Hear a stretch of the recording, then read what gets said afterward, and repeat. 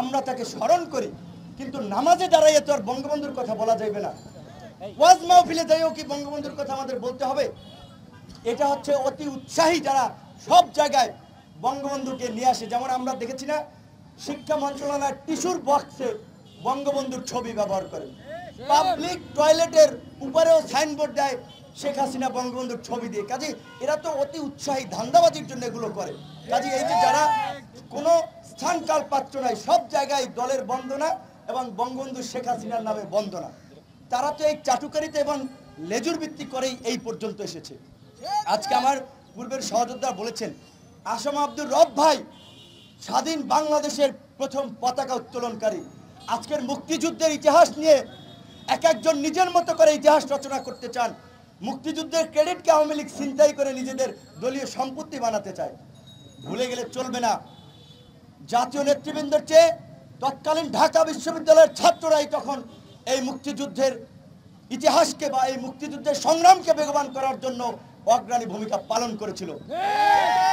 বঙ্গবন্ধুর ভাষণ হয়েছিল সাতই মার্চ, দোসরা মার্চ ঢাকা বিশ্ববিদ্যালয়ের কলা ভবন থেকে।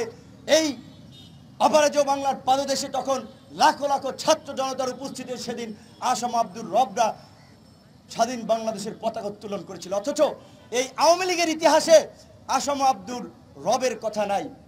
এই আওয়ামী লীগের ইতিহাসে স্বাধীনতার ইশতেহার পাটকারী শাহজাহান সিরাজের কথা নাই। যে মুক্তিযুদ্ধকে সংগঠিত করার জন্য ছাত্র নেতারা নিউক্লিয়াস গঠন করেছিল, নিউক্লিয়াসের অন্যতম মহানায়ক। এই আওয়ামী লীগের ইতিহাসে সিরাজুল ইসলাম দাদা ভাইয়ের নাম নাই। আওয়ামী লীগের ইতিহাসে নাম নাই, মুক্তিযুদ্ধের সর্বাধিনায়ক জেনারেল এম এজি ওসমানীর নাম নাই। আওয়ামী লীগ আজকে মুক্তিযুদ্ধকে একটি সাইনবোর্ড বানাচ্ছে তাদের রাজনৈতিক ফায়দা লোটার জন্য। কাজে আমাদেরকে সেই ধান্দাবাজদের মুখোশ উন্মোচন করে প্রকৃত মুক্তি সংগ্রামের ইতিহাসকে সামনে আনতে হবে, যেটা আমরা বলছিলাম যে আসাম আব্দুর রব ভাই শরীরটা ভালো না, কিছুদিন আগে দেখা করতে গিয়েছিলাম। তিনি বলছিলেন, নূর, যে একাত্তরের আগে ওই সময় পাকিস্তান আমলে ঢাকা বিশ্ববিদ্যালয়ের ভিসি ছিলেন আব্দুল মতিন চৌধুরী, তাকে ক্যান্টনমেন্ট থেকে বলা হয়েছিল যে স্বাধীনতা সংগ্রামের জন্য ছাত্ররা আন্দোলন সংগ্রাম করছে, সেনাবাহিনী ক্যাম্পাসে ঢুকবে। তিনি বলেছিলেন যে সেনাবাহিনী ঢুকবে না। যদি ঢুকে, আমার বিএনসিসির ছেলে মেয়েরা কিন্তু তাদেরকে প্রতিহত করবে। ঢোকে নাই। বিচারপতি আবু জাহিদ চৌধুরী একাত্তর সালে এই বিশ্ববিদ্যালয়ের ভিসি ছিলেন। লন্ডনে বসে তিনি যখন শুনলেন, তার ছাত্রদের উপরে গুলি করা হয়েছে তার ছাত্ররা নিহত হয়েছে। তিনি তৎকালীন পাকিস্তান হাই কমিশনের মাধ্যমে বিশ্ববিদ্যালয়ের ভাইস চ্যান্সেলরের পদ থেকে ইস্তফা দিয়েছিলেন যে আমার বিশ্ববিদ্যালয়ের ছাত্রদের উপরে গুলি চলেছে আমার ছাত্ররা মারা গিয়েছে আমি আর দায়িত্ব পালন করতে পারি না। আর বর্তমানে কারা ভিসি হচ্ছেন কারা প্রক্টর হচ্ছেন?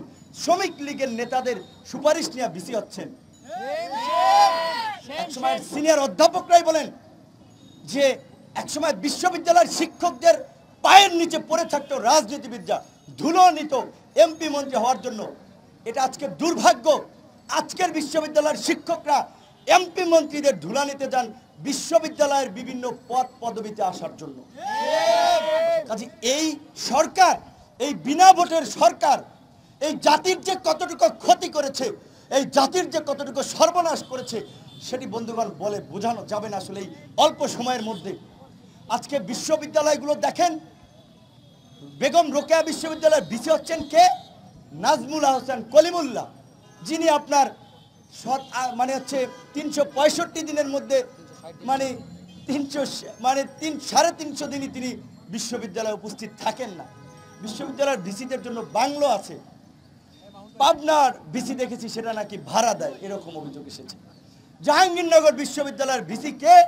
ফারজানা ইসলাম, তার বিরুদ্ধে অভিযোগ ছিল, ছাত্রলীগের সাথে মিলেমিশে উন্নয়নের ভাগ বাটোয়ারা করছেন। বঙ্গবন্ধু শেখ মুজিবুর রহমানের নামে বিশ্ববিদ্যালয়, সেই বিশ্ববিদ্যালয়ের ভিসির চরিত্র দেখলাম আমরা কি? ছাত্রীকে জিজ্ঞেস করছেন, তোমার বাবা মাকে গিয়ে জিজ্ঞেস করো বিশ্ববিদ্যালয়ের কাজ কি? রাজশাহী বিশ্ববিদ্যালয়ের ভিসি কে? নিজের জামাতা মেয়েকে নিয়োগ দিতে আপনার সমস্ত নিয়ম নীতি লঙ্ঘন করছে বন্ধুগণ। কয়েকটা ভাইস চ্যান্সেলরের কুকীর্তির কথা বললাম। ষোলো জন বিশ্ববিদ্যালয়ের ভিসিদের বিরুদ্ধে তদন্ত হচ্ছে। তাদের বিরুদ্ধে অভিযোগ তারা নিয়োগের ক্ষেত্রে স্বজনপ্রীতি করেছে, উন্নয়নের ক্ষেত্রে পছন্দের ঠিকাদারকে তারা কাজ দিয়েছে, এইভাবে তারা রাষ্ট্রীয় অর্থ অপচয় করেছে, ক্ষমতার অপব্যবহার করছে। বন্ধুরা আজকে বিশ্ববিদ্যালয়ের ভাইস চ্যান্সেলর এরা চিন্তা করেন, খুব কষ্টে বুকটা ফেটে যায়। এই দেশের এই দেশের মানুষের সর্বশেষ আশা, আকাঙ্ক্ষার জায়গা হচ্ছে ঢাকা বিশ্ববিদ্যালয়। যখন জাতি সংকটে পড়ে, এই দেশের মানুষ এই দেশের কৃষক, শ্রমিক, আপামার জনতা ঢাকা বিশ্ববিদ্যালয়ের দিকে তাকিয়ে থাকে। ঢাকা বিশ্ববিদ্যালয়ের ছাত্ররা কি বলছে? ঢাকা বিশ্ববিদ্যালয়ের শিক্ষকরা কি বলছে? আমাদের একজন ছাত্রনেতা বলেছেন, ওয়ান ইলেভেনের সময় আপনি দেখেন, এই যে আমাদের বর্তমান ভিসি স্যার তো রাজপথে বেশ সরব ছিলেন। জাতীয় বিশ্ববিদ্যালয়ের ভাইস চ্যান্সেলর হারুন স্যার, কলা অনুষদের সাবেক ডিন সজ্জুল আমিন সহ অনেকেই তো সেদিন রাজপথে নেমেছিলেন। আর আজকে সেই চোদ্দ সালের পর থেকে এদেশে একটা অগণতান্ত্রিক সরকার, বিদেশি অপশক্তির প্রশ্রয়ে বাংলাদেশকে একটি ব্যর্থ এবং অকার্যকর রাষ্ট্রে পরিণত করার জন্য বিদেশিদের এজেন্ডা বাস্তবায়নে কাজ করছে। চায়নার মতো এদেশেও, চায়না তো কমিউনিজম কায়েম করেছে, এদেশে একদলীয় শাসনতন্ত্র কায়েম করার একটা অপচেষ্টা চলছে। কিন্তু আমাদের অত্যন্ত দুর্ভাগ্য, আজকে আমরা ওয়ান ইলেভেনের মতো বিশ্ববিদ্যালয়ের শিক্ষকদেরকে রাজপথে নেমে আসতে দেখি না। আজকে আমরা দেশ আজ বিশ্ব বেহায়ার খপ্পরে। এরকম কোনো চিত্র আমরা আজকে চিত্রশিল্পীদের অঙ্কনে আমরা দেখতে পাই না। কোনো কার্টুনিস্টের যেটা আমাদের কামরুল হাসানের মতো শিল্পী এরশাদকে ইন্ডিকেট করে এঁকেছিলেন যে দেশ আজ বিশ্ব বেহায়ার খপ্পরে। আমি বলতে চাই যে এরশাদ যদি বিশ্ব বেহায়া হয় তাহলে আজকের যারা ক্ষমতায় আছেন বিশ্ব বেহায়ার উপরে যদি কিছু থাকে তারা সেটা।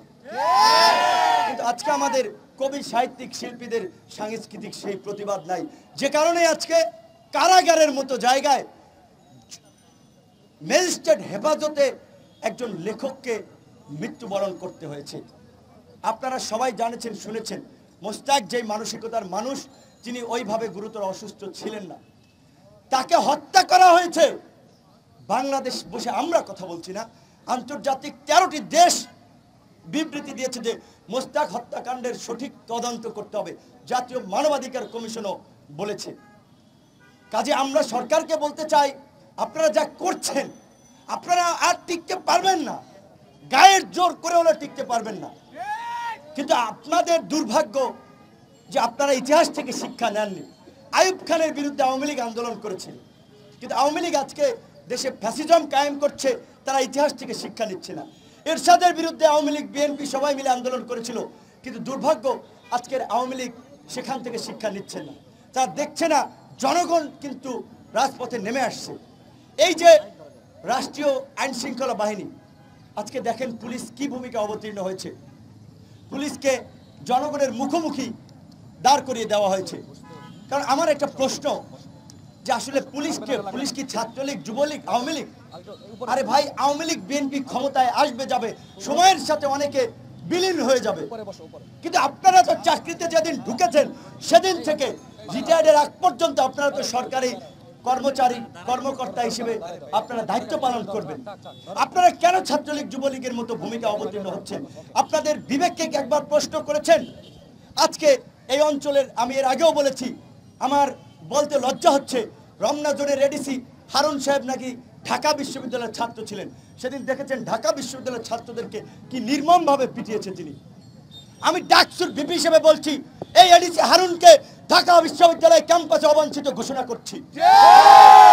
কারণ এই হারুন কোনো পুলিশ কর্মকর্তা হিসেবে আচরণ করছে না তিনি ছাত্রলীগের গুন্ডা হিসেবে ভূমিকা নিচ্ছেন।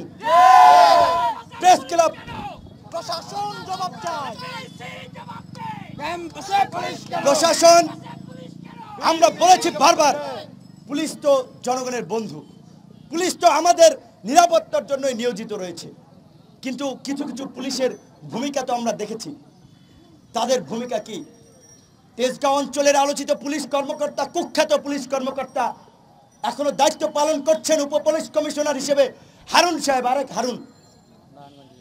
তিনি দেখেছেন বিরোধী দলীয় একজন চিফ হুইপকে কীভাবে সেদিন সন্ত্রাসের মতো বেধরক পিটিয়েছিল। তারপরে কি হয়েছে? হারুনের প্রমোশন হয়েছে। তো আজকের এই জুনিয়র হারুনও আপনার যেটা বলে স্থানকাল পাত্র নাই, যেখানেই যান, দেখবেন ওই ইতিহাস এবং আওয়ামী লীগ এবং বঙ্গবন্ধুর বন্দনা। বঙ্গবন্ধু বাঙালির ইতিহাসের মুক্তি সংগ্রামের একজন মহানায়ক